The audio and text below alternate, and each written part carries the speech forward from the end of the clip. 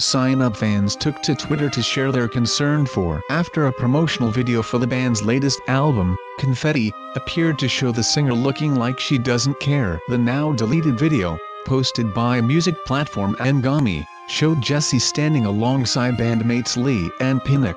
Perrie Edwards and Jade Thirlwall. The clip showed the band introducing their new album and asking Middle Eastern fans to share and comment their thoughts on the girl group's sixth studio album, Confetti, which was released today, November 6th. And while fans eagerly celebrated the release of new music, some couldn't help but notice that Jesy didn't look as excited as her bandmates in the clip. Related articles Related articles Get exclusive celebrity stories and fabulous photo shoots straight to your inbox with OKs. You can sign up at the top of the page. Replying to the now deleted video, one fan wrote, Jesy really doesn't care anymore does she, she's over it. Another posted JESY is like any worry. Sick while another wrote, why does Jesy look sad?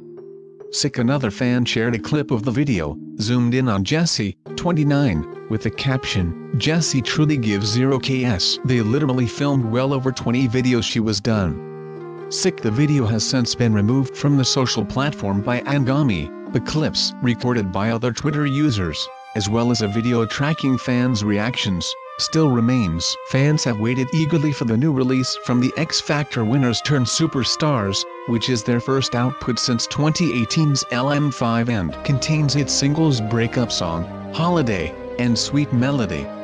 So far the album has gained positive reviews and has been celebrated by fans online. Jesy has previously opened up about her struggles with finding fame at a young age. After winning the X Factor with her bandmates in 2011, last year, she released the documentary, Jesy Nelson, Odd One Out, in which she spoke candidly about the excessive trolling she received during and after X Factor and how it affected her mental health. During the program, Jesy admitted she attempted suicide after being labeled the fat one from Little Mix. Viewers praised the star for the show, with some calling for it to be shown in schools to help pupils learn the effects of bullying. Little Mix related articles. At the time, Jesy was dating Love Island star Chris Hughes, 27, but the pair have since split and Jesy recently found love once more with actor Sean Sagar. 30. It was even recently reported that the singer was feeling broody. It's been a busy few months for the band, who will celebrate the final of their talent search show,